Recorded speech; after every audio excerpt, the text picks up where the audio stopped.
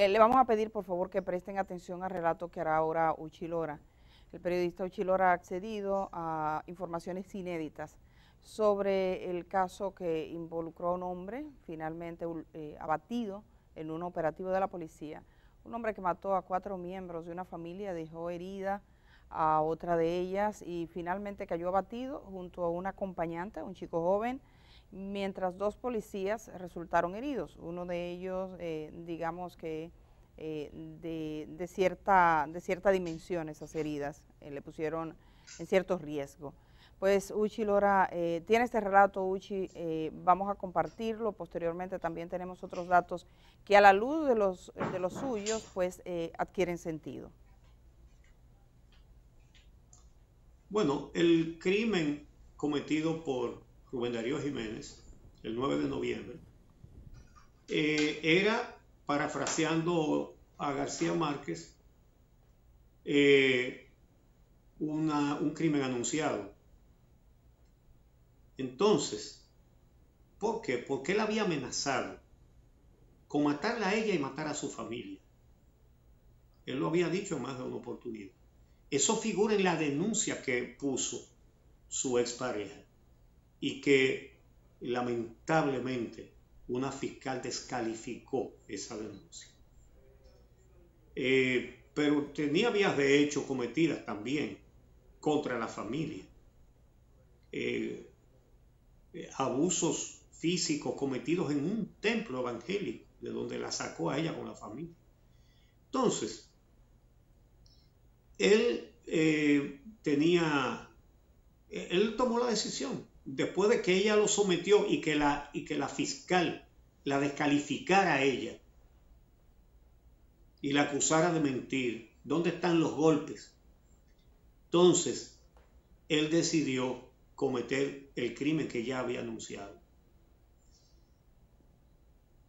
La crónica de las cuatro muertes anunciadas, de, de alguna manera. Entonces él fue a la casa hizo el desastre que hizo, a todos les, disparó en la cabeza. Y, mató a la mamá, al papá y al cuñado antes que a ella para que ella viera. Y le disparó a la hermana también. Y se dice que, que porque la expareja se atravesó, que, por eso la hermana después sobrevivió, pero recibió un tiro en la cabeza también. Entonces, eh, mató de último a Leida Vicente Sánchez, su expareja, con quien tiene un niño. Después de cometer este crimen atroz, él se llevó al niño que tenían ambos y lo metió en su vehículo. Él todavía con la pistola en la mano. Entonces, él monta al niño, se monta él, y cuando se sienta en el asiento del conductor, se le escapa un disparo y él mismo se causa una herida en un testículo. Se le escapó un tiro y de su propia pistola él recibió un balazo en un testículo. En ese mismo momento se desbarataron sus planes. Edith dará detalles de esos planes que él tenía. Él se iba para Haití. Y por eso, poco después de salir de la casa con esa herida, entonces deja al niño abandonado. Ya evidentemente se dio cuenta de que él no eh, su plan de escape había fracasado. Su plan de muerte lo hizo, pero el plan de escapar estaba fracasado desde ese mismo momento que él se dio ese tiro. Entonces, evidentemente que fue rápido cuando desistió del plan porque dejó al niño abandonado que se lo pensaba llevar a Haití. En Haití, eh, Rubén Darío Jiménez tenía muchas relaciones, iba con mucha frecuencia a Haití, desde donde se dice que traía drogas, específicamente marihuana, y que tenía muchas conexiones en ese país. Y estaba habituado a cruzar la frontera. Entonces, Recuerden, él era deportado de los Estados Unidos, no podía aspirar a irse a los Estados Unidos. Entonces, eh, las autoridades están indagando si él buscó atenciones médicas y dónde las buscó. Si algún médico lo atendió, puede llamar a las autoridades porque eso no es delito atender a un herido. Y el médico no, no le puede preguntar a un herido, ¿cómo fue que le dieron ese balazo a usted? O si se lo dio usted, no, no le puede, lo tiene que curar. Ese es el deber del médico. Entonces, eh, ya de ahí en adelante, esa herida le limitó, le redujo sus movimientos. El jovencito José Luis Mañón, de 20 años, vino desde Nueva York después del crimen, mandado a buscar a través de un hijo por, que vive allá por Rubén Darío Jiménez. Y vino a asistirlo, a ayudarlo porque no podía andar manejando y ocultándose y escondiéndose con esa herida en un testículo. Entonces, el muchacho no era taxista ni nada de eso. Vino aquí a ayudar a Rubén Darío Jiménez. Entonces, ellos, los dos, se alojaron en el motel presidente que está en la carretera de San Isidro y se detectó esa presencia. Eh, y la policía recibió la información de que estaba ahí. Realmente, aunque se publicaron versiones que decían que la policía sabía que, iba, que él iba para allá y que lo estaban esperando y que cuando él llegó se encontró con la policía, no, no fue así. Él llegó a ese motel con el otro muchacho el lunes de esta semana. El lunes, es decir, el 16. Y se alojaron en esa cabaña. Y el incidente en que mueren los dos se produce el martes. Es decir, ellos tenían un día y pico en esa cabaña. Detectados ya, eh, va una unidad del DICRIM, bueno, van una cantidad de policías, porque saben que, que andan armados. Él tenía una pistola y el joven una escopeta. Entonces, ya con la policía rodeándolo sin que ellos se dieran cuenta, entonces se lo hacen saber le dicen que está rodeado y que salga y que se entregue. Eh, lo que hacen es que se meten en el carro, que está dentro del garaje de la cabaña, ¿verdad? Y porque él decidió tratar de escapar, él no se iba a entregar, no estaba dispuesto a entregarse. Y entonces, y por algún motivo él convenció al muchacho de que intentaran eso. Porque entonces, cuando levantan el portón metálico de la cabaña, salen acelerando. El muchacho al volante, eh, José Luis Mañón. Y Rubén Darío Jiménez con la pistola disparando. Y es en el momento en que salen del garaje de la cabaña, en que hiere a dos policías. Eh, al sargento Juan Carlos Báez Juan Carlos Báez Francisco le da un balazo en el abdomen, en la barriga, y otro en la pierna izquierda. Y al raso, José Franchel Jiménez Aragonés eh, le, hiere en los glúteos.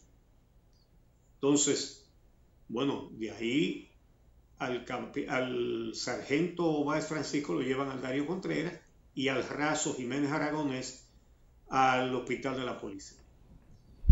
Entonces, que por cierto, me han dicho que están estables los dos. Eh, dentro de la mala suerte de recibir ese disparo, el sargento tuvo la suerte de que no le interesó ningún órgano vital. Eh, obviamente, cuando él sale disparando y hiere a estos dos policías, lo que vino fue una lluvia de tiros sobre ellos y ahí quedaron muertos. Una lluvia de tiros, lo tenían rodeado. Entonces, Jiménez recibió ocho balazos y Mañón cuatro. Y murieron en el acto, murieron ahí mismo. Entonces, les dieron la oportunidad de entregarse y no, no tomaron su opción, intentar escapar. Y así terminó eh, esta, eh, esta historia de barbarie, porque asesinar a cuatro personas, a todos les disparó en la cabeza, para que, su pareja viera y después entonces ella. Eh, quiero repetir algo que dijimos ayer, porque no quisiera que esto se olvide. Obviamente que las principales víctimas son los que murieron, pero la que quedó viva, Orin Macier Vicente Sánchez, de 26 años, sobrevivió a un tiro en la cabeza.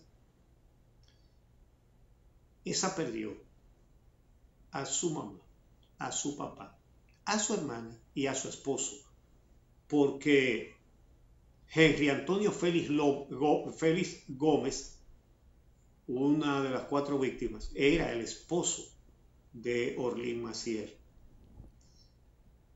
Eh, de manera que fue una atrocidad lo que cometió este individuo, que eh, fue favorecido por una fiscal que usted dirá, pero quizá ella no sabía todo lo que había hecho ese hombre.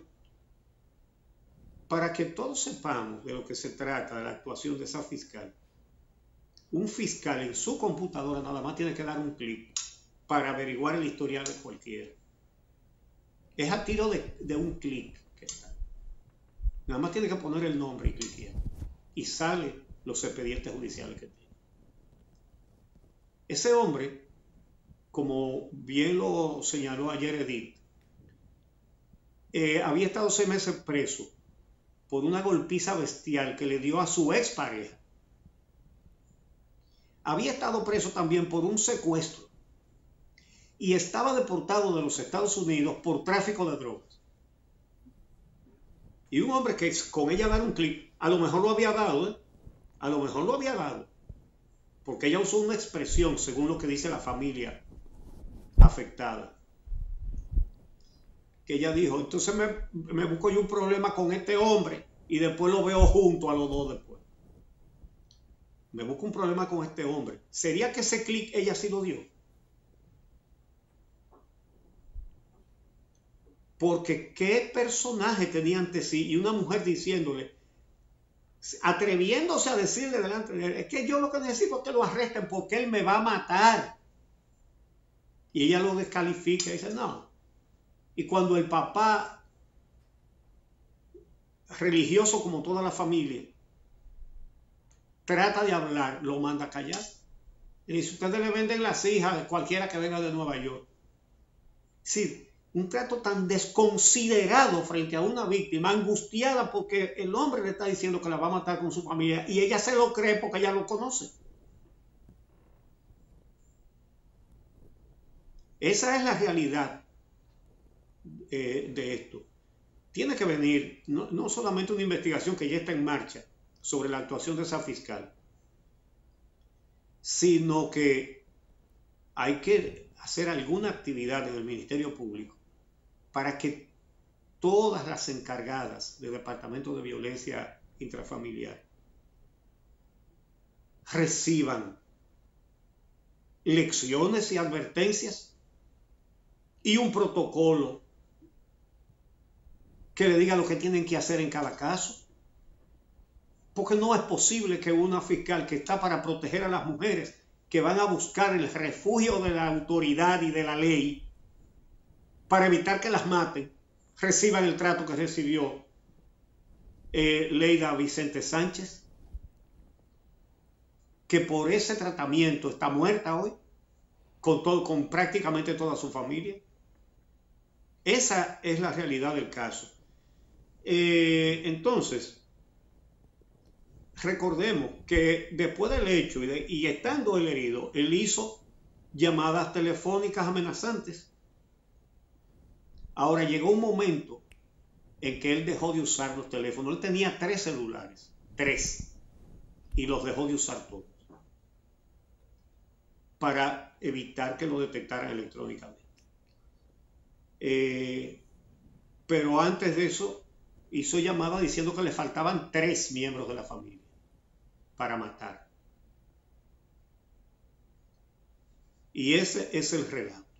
Él mismo se dio un disparo, un testículo que se le zafó cuando se agarró el niño para llevárselo, lo montó en el carro y cuando él entró y se sentó, esa pistola estaba cebada todavía. La gente dice sobada, es cebada. Estaba cebada y se le disparó. Y una lesión tan eh, grave como eh, darse un balazo en un testículo. De ahí en adelante fue contar las horas hasta que lo encontraran. Y lo encontraron. Esa es la realidad. Edith, tiene algunos detalles más. Sí, sé que tenemos que hacer la pausa, pero sí, vamos Edith brevemente puede, va a agregar datos muy, muy importantes. Sí, bueno, eh, eh, decir, eh, habían algunas informaciones que adquieren, eh, adquieren sentido ahora en las conversaciones con la familia, como que él había dejado las maletas hechas. Él se traslada en un vehículo que según lo que tiene entendido esa familia es propiedad de alguien que le llaman un doctor, puede ser doctor en medicina, en leyes o lo que sea, pero no era suyo, esa persona fue interrogada sobre la posesión de ese vehículo. En ese vehículo había una maleta de ropa desorganizada y había restos de sangre. Entonces, eh, ahora esa presencia de sangre en el vehículo tiene sentido porque él se había disparado. Él tenía todo preparado, eh, planeado, eh, va a la casa donde residía, deja el vehículo afuera y deja al niño solo, abandonado. Es una vecina que escucha, y llama eh, a las autoridades, digo, llama a las autoridades, efectivamente llega la policía y la policía lo entrega a una hermana de él porque consideraba que estaba más seguro con una hermana de él que entregárselo a la familia materna. Posteriormente, sí, posteriormente el bebé de siete meses de nacido es eh, recogido por las autoridades, debo decir que con Ani, eh, el bebé está bajo protección de CONANI porque también implicaba un cierto riesgo la situación en la que se encontraba, que es una decisión que ahora ha adoptado CONANI, que según incluso he conversado con su directora, en ese momento no hice público dónde se encontraba el bebé porque no tenía sentido tampoco entrar en mayor riesgo a las personas que estaban eh, protegiendo a estas, a, estas gentes. Entonces, eh, la intervención de CONANI va a ser vital para, las, para los menores en casos de violencia intrafamiliar porque hasta ahora se dejaban libres. Eh, debo decir que también eh, la hermana que sobrevivió, si ponemos la fotografía de la familia completa, por favor, para decirle a la gente quién es quién, donde están los cuatro miembros de la familia, la hermana que sobrevivió estaba ingresada en el hospital Darío Contreras. Uchi, yo quiero decir una cosa que me parece importante y que lo tomemos en cuenta, incluso los medios de comunicación, que a veces se transmite sin pensar en lo que se puede eh, provocar. Ese hombre va y mata y cuando mata llama a la tía, y le dice que a una, una de los parientes y le dice que le faltan, eh, que, va por más. No dice cuánto, sino que va por más. O sea, que va a volver a matar. Y los medios publican que la herida está en el hospital Darío Contreras. Es esa joven Orly de camiseta azul y falda amarilla. En el extremo derecho está su pareja, Henry, que murió, que fue asesinado. La madre de ellas, eh, Orfelia que murió también, y el padre que fue el que eh, acudió con su hija a la, a la fiscalía, al Ministerio Público, y fue quien le contó a sus parientes llorando cómo fue tratado. He visto gente, vi ayer a alguien que debe ser amigo de la fiscal o amiga de la fiscal, eh, cuestionar si eso que se dijo era cierto. Debo decir dos cosas sobre esto y vengan conmigo. Primero, la familia pide al Ministerio Público que si hay sistema de grabación, lo busquen que está grabado. O sea, pueden buscar. Pero al margen de eso incluso, evidentemente aquí hubo un trato que no correspondía, porque si verificamos los antecedentes penales del hombre y la acusación que ella misma está diciendo y que está incorporada en el acta que se llama acta de compromiso no calificaba, porque decía, ella dice que la quiere matar a ella y a toda su familia. Con una amenaza de esa naturaleza no hay acuerdo. Pero además, el Ministerio Público tenía la posibilidad de acreditar la manera en que ella la sacaron de la casa, que fue policías que fueron a su residencia junto con su familia y un policía del destacamento de vivienda le dice, mire, este es mi número, usted me llama si me necesita para ir ante un juez porque ese hombre es muy violento. O sea, el policía estuvo dispuesto. El Ministerio Público con una indagatoria simple de cómo fue que ella sacó, de quién la sacó, todo eso pudo, pudo haber sido perfectamente documentado. La hermana estaba en el Darío Contreras, se recibió la información, la familia recibe la información de que él ha dicho que, le faltan tres miembros de la familia. No lo dijimos en ese momento porque era una familia que estaba en mucho agobio, no aportaba nada, que era, eh, era terrible, no tuvieron tiempo de llorar a los suyos porque lo que estaban era pendiente de la muerte. Recibe la información de que él eh, tiene tres en la lista, pero no se sabe quiénes son. Obviamente, si los medios están diciendo, él se lo dijo cuando le disparó a la hermana, le dijo, que él le tenía un odio especial a ella, si los medios están diciendo que ella está bien, que está en el Darío, él anda prófugo, uno no sabía qué podía pasar. Ella estuvo durante casi 48 horas sin protección. Creo que los hospitales públicos y el sistema, porque es el sistema, porque en el hospital no sabían, es el sistema que tiene que tener ese tipo de alerta para que tenga protección. Finalmente le pusieron protección y ella se encuentra, cuando sale del hospital, en una casa de acogida del Ministerio de la Mujer. Está bajo protección, ya ahora comienza un proceso, tanto ella como su hija.